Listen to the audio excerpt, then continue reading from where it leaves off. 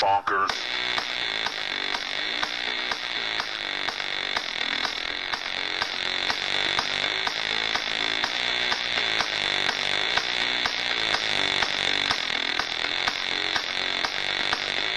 I wake up every day, it's a daydream.